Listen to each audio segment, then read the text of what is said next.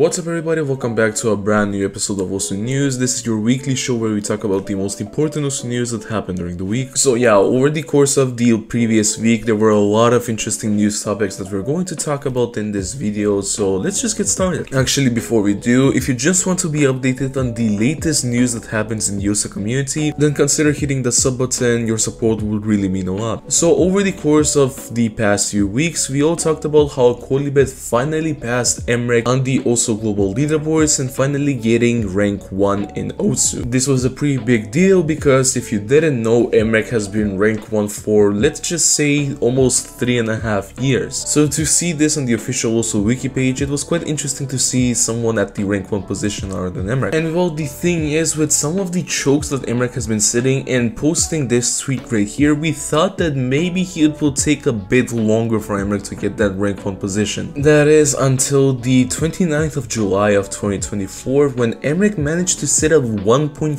kpp play on the map by the name of Taking You Out. This score came out of nowhere and it would have taken Mrekk to the number 1 position if it wasn't for Akolibed getting a 1.5 kpp play on Necrophantasia remix getting the first DTFC on the map literally one hour before Mrekk set his 1.4 kpp play. And this is where people actually got excited. People were finally seeing a battle for rank 1 after god knows how many years and so naturally they were waiting to see what Mrekk's next move will be and oh boy they definitely witnessed it on August 3rd of 2024. Mrekk went live on Twitch and he only had one goal set for that stream which was to get his rank 1 position back and oh boy some of the plays that were set on this stream were absolutely nuts. Just to highlight some of them we have a 1.5k choke on Ringo Uri no Utakata Shoujo with DT, a Life S rank which would have been a 1.6k PP play if it wasn't for that one slider break on the map, a 2 miss choke on Inai Sekai with hidden DT which would have been the PP record in the game if it wasn't for those two misses, and after all these scores slash chokes that all gave Mrekk a ton of PP on that stream, Mrekk finally managed to take back his number one position on the global leaderboards with a choke on the map by the name of Choo Choo, the top difficulty of the map which he played with hidden double time and he managed to get only 3 misses on it. Oh yeah and if you were wondering what his reaction was to him getting rank 1 back, well this is the clip. GG, GG, GG, GG, GG, right? Hello? Hello? Hello? Hello? GG, GG, GG, GG, GG, GG. Oh, I'm so, I'm so happy. I've, I got, I fucking got deep into that run. I wish I didn't miss the first time though. And well, people were also wondering how did Akolibed react to Emma getting rank 1 back? Well, at first he just said that he doesn't give a flip about it, and when he was streaming and the title it said that he was not in the best mood. However, it doesn't seem that Akolibed is going to give up that fast that soon as well, because on the 5th of August he did show that he got a few chokes on a few maps. But yeah, what do you think about Emma getting his rank 1 position back on the Osu Global leaderboards? Let me know down down in the comments. But yeah, in other news this week, you already know the reason why I was absent is because COE 2024 was happening. You've probably already seen a few pictures from content creators of the event on Twitter, and for those that already don't know, this is how I look, that's me on the right of course. Like I previously revealed, I am Sytho, I don't know who that person is on the left side of the picture, the dude just asked to be on the pic or something like that. Like I don't even know who that guy is man, he gotta be some random or something. But the main topic that I want to talk about in this video is the finals of the COE X Yuki AIM tournament for 2024. Now this portion of the video will contain spoilers for the COE finals so if you haven't watched it then be sure to do so. However the finals match of COE 2024 was between Maliszewski and Kriller. Previously Maliszewski had to face off Ninerik in the semifinals of the tournament where he won 5 to 1 against Ninerik. However Kriller had to face off a pretty tough opponent in the semifinals by the name of Bubbleman. Now, although he won 5 to 3 against Bubbleman, it wasn't that easy. It was actually a pretty close match and if you watched it live then you already know why. Which leads me to the finals matchup which was Maliszewski versus Kriller. Now I am going to show you a clip of how it looked like to watch the finals of the tournament from a crowd's perspective. high level of play in our top 16, but somehow Maliszewski managed to above that. How do you do this, mate? The 97.5, nearly 8 a couple on this. On You're man, kidding. dude. You're kidding me. Maliszewski, how are you still holding on to this? Kriller's trying so hard to fight back. He's trying so desperately hard.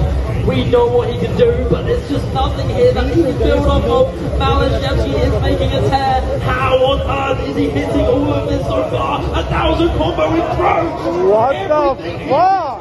Star. If there's anything we know about Maliszewski, one of the best in the world, one of the greatest of all time, be it in any environment, be it in land, be it in what the fuck? And he is a COE nuclear Jesus fucking Christ. invincible. Is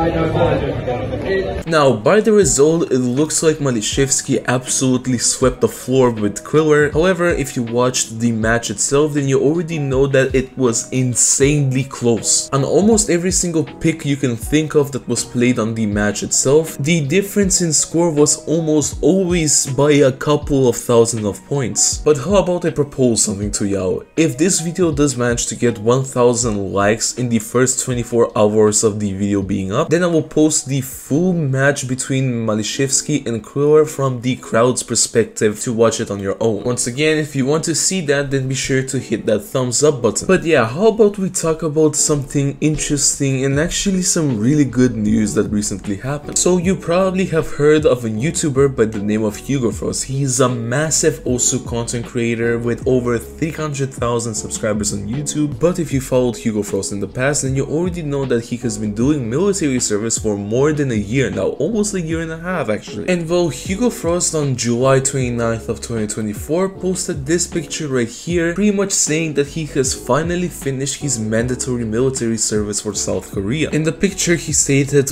one of the memories that I will never forget, thank you all. But even more exciting is the fact that Hugo Frost just a few hours ago as of me recording this audio actually said that he is going to post a new video tomorrow. He is going to post it at around 10 p.m. Korean Standard Time, so mark that on your calendar because Hugo Frost is finally coming back to making content. But yeah, how do you feel about Hugo Frost finally returning after almost a year and a half of not making content because of military service?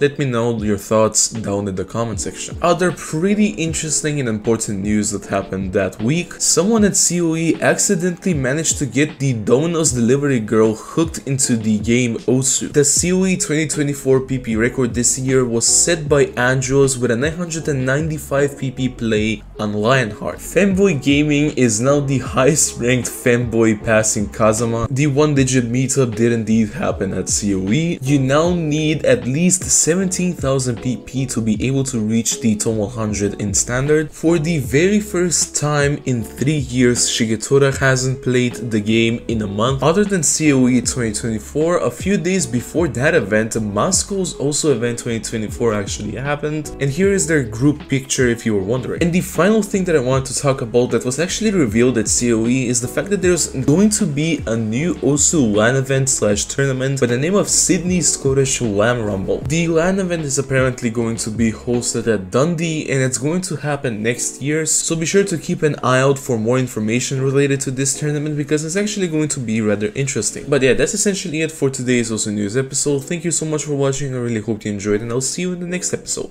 Bye bye.